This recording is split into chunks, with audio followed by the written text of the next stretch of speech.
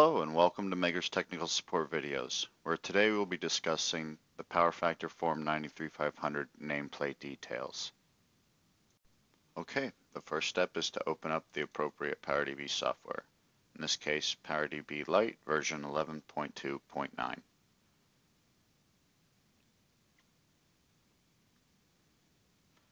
Once the software is open, you can see the selection of instruments in which we will choose the Delta 4000 Power Factor test set using the Power Factor 2 winding transformers 93500 test form.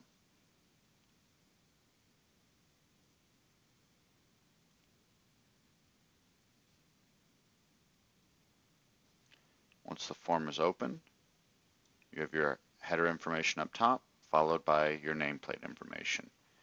Many of the fields in the nameplate information are filled out manually. You can see here on the left you have the transformer nameplate information where you can fill in the manufacturer, serial number, year, class. When you get to fields such as coolant and tank type and winding materials, you actually have drop-down menus of pre-selected options. You just choose any one of these, for instance, silicone. And if you have a free breathing transformer as well, and maybe you have aluminum windings, all of these can be chosen with the pre-selected menus. Also, some of these, such as weight and oil volume, have different units that you can change if you don't want to use pounds. Maybe use kilograms, and instead of gallons, you could use liters, kilograms, many other units that you have there to choose from. Another important field is uh, oil temperature. Oil temperature is very important because that changes the temperature correction factor.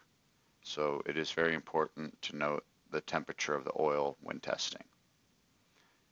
Here on the left you have your vector diagram. So it is currently set in a DYN1, so delta on your primary with a Y and a neutral on your secondary.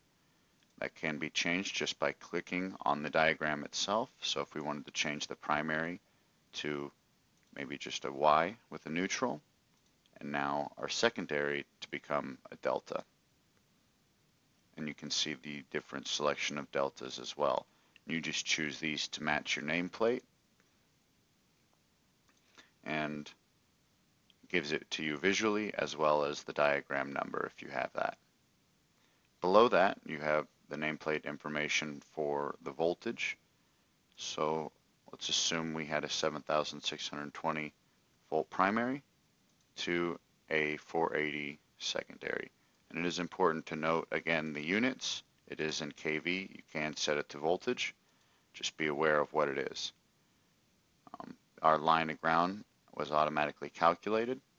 And once we put in the power in kVA, which also can be changed to MVA, it will calculate the current for us as well. See how they auto-populate?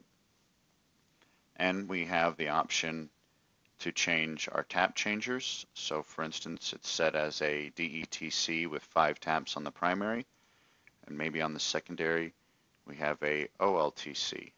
And these can be changed to whatever is appropriate. On the right here, we have our bushing nameplate information where you can input the serial number, manufacturer, which is another drop-down menu. You can scroll through to find the appropriate manufacturer.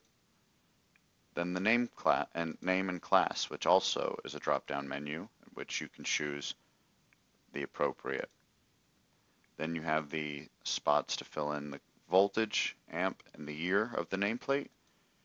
And if you are not using your bushing nameplate, you can hide the information like that to where it doesn't show up on your report.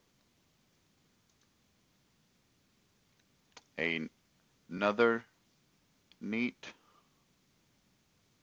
feature is the recalculation of test voltages. You can see that the voltages have already been calculated based on the nameplate information that we input.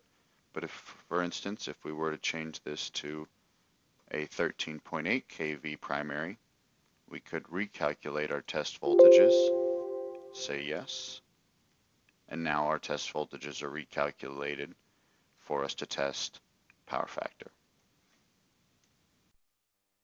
Thanks for watching this installment of Megger's technical support videos and tune in to some of our other videos for more information.